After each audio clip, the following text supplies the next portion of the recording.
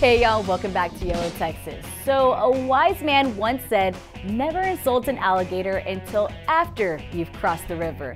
Well, our final Creature and Critters destination has got plenty of them and is on a mission to show Texans the true beauty of these creatures. So saddle up y'all because we're on our way to Beaumont to the one and only Gator Country.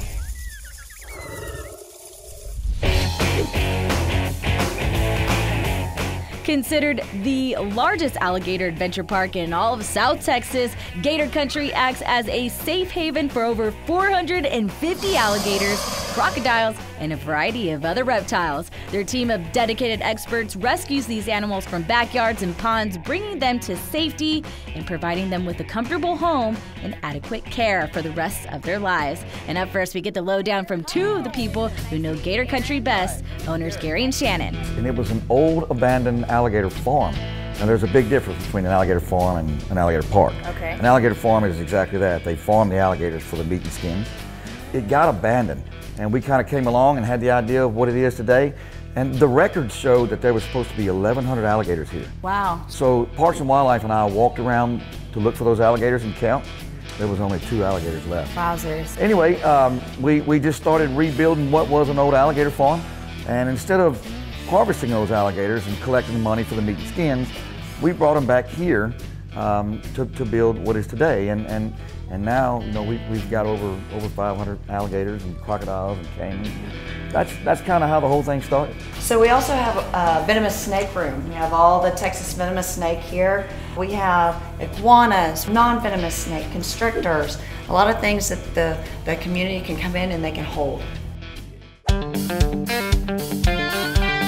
All right, so before we move on and get hands-on with these guys back here, we're actually going to sit down, learn a little bit more about all the reptiles with the staff who knows them best.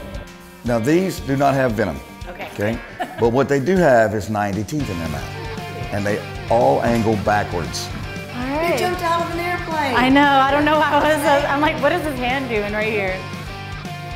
Ready for a real southern adventure? Gator Country Swamp Tours takes visitors on a one-of-a-kind journey deep into the Taylor Bayou. All right, so we just saw an eight-foot alligator, but he kind of went underwater, so right now we're just waiting to see where he pops up next. Look at Gator!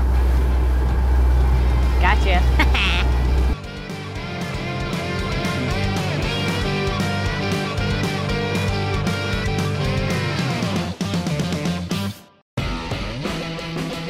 Ever feed a gator? Well, let's just say, don't try this at home, kids. All right, here goes nothing. Oh, I'm sorry. I got bad aim. Oh, I'm sorry. Was that a burp? Thank you.